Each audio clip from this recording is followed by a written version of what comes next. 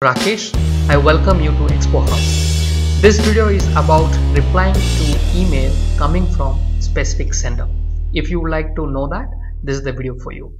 And your one click would make a world of difference while you watch the video. Okay, so let's see the example. Think your manager has sent an email or an email that comes from your team where you have to reply to the team every time. Let's say daily assigned task report, IT operation to work. So there's a team who is sending a report or your manager is sending a report to you or your team as a team lead and you need to work on it. Or somebody has to reply to this email, hello sir, that we have seen all the um, activities or all the uh, incidents or all the tickets and a member of my team has been assigned or any such incident you can think of where you have to reply to a specific person how to do that. So just think this is the incoming email and this is the task and you need to reply to this person only not to all the emails. So i have already created a workflow. So let me run it and show you then we will begin to create one by one. So the execution is completed let me check the email. So you can see that the reply has come. Let me open the reply. Hello sir. My team is assigned to the task and we we started working on it. Okay so there is an auto reply which has been sent. So let's see how to do it. So the very first activity that you'll be using is get password. So this is the activity. So he, this one here you'll be typing the password of your email account and create a variable which will store that password securely. Okay? And get IMAP mail message which I have already discussed in lot many videos. So I would not like to spend more time. So this is what you'll be setting up. Okay? Your port number your server and your email and your password as the variable. And I'm reading all the unread emails the top five only I'm reading at this moment for the demo. Okay? Now once this is done Remember, you do not want to reply to all the emails. Let's go to the inbox and here you can see there are so many emails coming from different different people in different different domains and you do not like to reply to all. You want to reply only to a specific person. Okay, so this is the email who has sent you hello team please find the report and start working on the tickets. So this is the email you wanted to reply to. Probably he's a manager or it is coming from a higher team or something like that on a daily basis and you would like to set a bot for this. So the context is clear. For the moment let me delete this.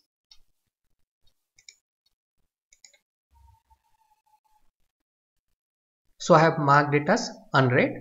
So this is the email we have to work upon. Okay so there are a couple of stages. First is read all emails. So in our case we will read only five. Okay so for that what i'm doing i'm using a get imap mail message and i'm reading all the five messages. And once you do that you want to store it in some variable for that i'm using a variable email collector. So this part is clear okay? Just i'm reading and storing inside a variable. Wonderful.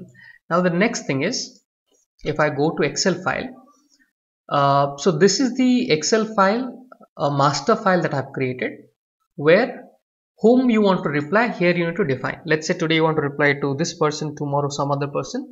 All you have to do is open this excel file and update the email address over here okay?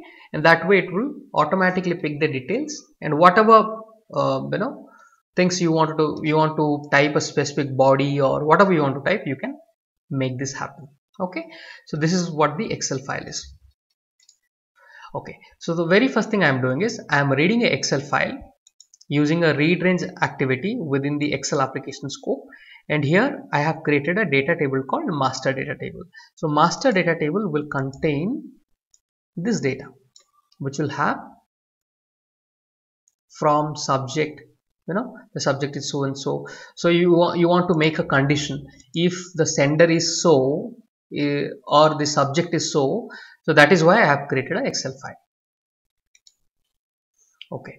So once the data table is created what i want to do is i want to loop through so for data table you have to use for each row okay? Not for each. Okay? I want to loop through all the email and store it in a dictionary. So my second job is store the data in a dictionary. Okay? For that you have to type add to dictionary. Many times you will not find add to dictionary. Then go to manage packages and here go to all packages. You have to use this Microsoft activities extensions. So this will get you the add to dictionary. Okay Microsoft activities you need to install. So once you have this add to dictionary here I will be dealing with the string type. So why I am saying string if you go back to Excel file it is going to loop through row by row right? These are all string type that's why I am taking the dictionary as string. Okay so I've used the dictionary string string. Click on OK. And here create a given name to dictionary.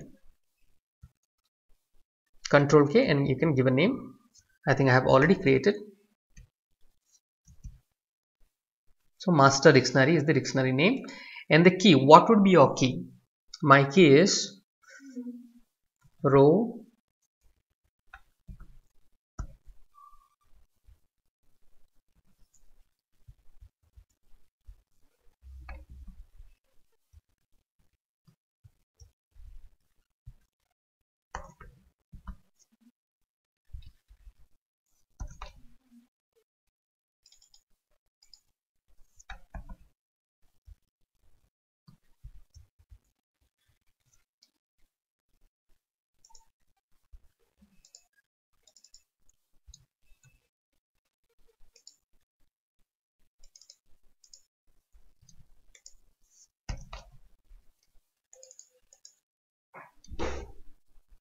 okay guys so I have declared the dictionary. Uh, so let me explain it once again. Key row title dot to string means all these things are the key and all these are value. The adjacent things are the values. So when I access uh, master dictionary you know within bracket I will say from then the value would be this. Okay so that is the meaning. When I say subject the value will be this. Okay that is the uh, meaning of the usage of the dictionary. Okay so this is done.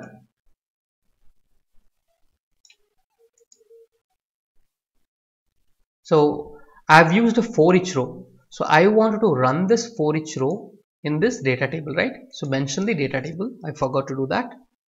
Master data table. And here your for each row right? The incoming data table is master data table. So now the dictionary is set. Okay? And one more thing guys go to variables and ensure all of your variables are in the main sequence. Okay? It is all set for the main the scope is set for the main sequence. Okay. Now I have accomplished the second activity. Uh, you know I read all the emails. Now using this I read all details from Excel okay? So these two activities are done. Now the third activity is send email. Okay? So how to do that? Now for that I will use another loop. This time I'm using for each okay? I'm not using for each row. For each. Okay? Uh, and I wanted to loop through all the emails right? And find which email I want to reply. Because I don't want to reply to all emails. I want to reply to specific email. That's why I'm using a for each loop so I can iterate through all the emails and then find that specific email and then send the email, uh, email reply to that email right? So for that so all our emails is stored in email collector. Now within for each okay? So when you set for each i always said type argument. Okay? For type argument go to browse for types. And here because it has to work on the mail messages. Okay? This is the one you have to select. Just type it you'll get it. Okay? All set. Now I'll be using a if condition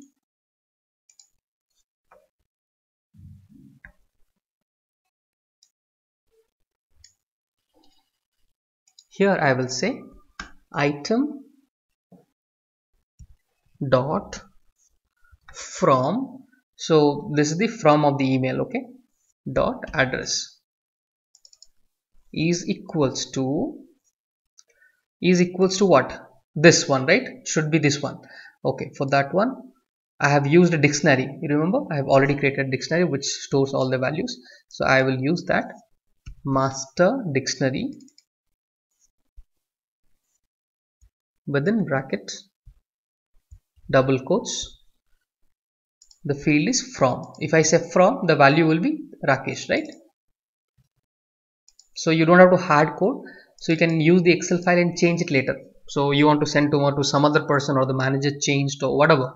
So that can be manipulated quite easily. You don't have to hard code. So this helps. Dot to string. Okay and this also you can make it to two string just to be more comfortable. So item from address dot to string is nothing but it's iterating through the email and finding one by one who is that sender who is that sender who is that so when the sender meets master dictionary from dot to string which is from the excel file that is where it will execute okay. Now here inside the then i'm going to use the send smtp so send smtp activity i have uh, many times discussed. So let me also tell you. So these are the things you have to set it. We can just pause the video and uh, you know remember the port server and other things. Make a note of that.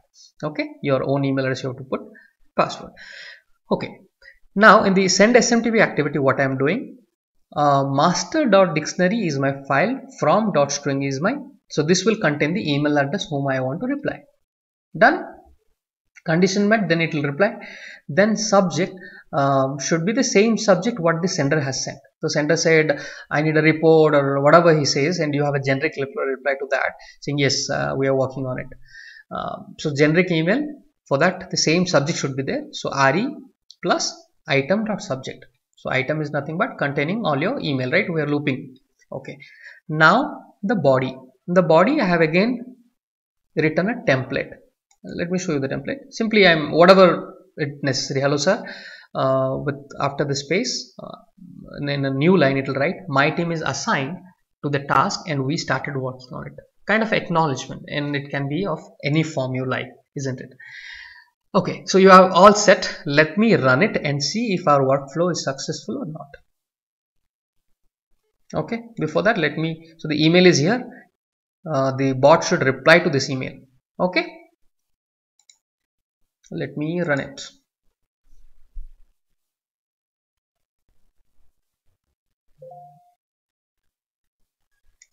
Okay let me go back. Uh, so here you can see uh, the reply has come. Hello sir. My team is assigned to the task and we started working on it. Okay? Hope you understood the entire workflow. It's quite simple. Just that only thing that we have used is a um, dictionary. Okay? And uh, we have used the if condition. And with that is executing the send smtp mail message within gmail okay. Thank you very much guys for watching this. Please do not forget to hit on the like button. That is something we really need. Please do hit on the like button and do comment your questions. Any kind of questions or queries that you have around these activities please do question uh, comment. And this is also coming from a comment. I am doing a video uh, which has come as a comment. In case you have any such requests please do comment. I would definitely love to create a video on that. Thank you very much guys. You guys have a wonderful day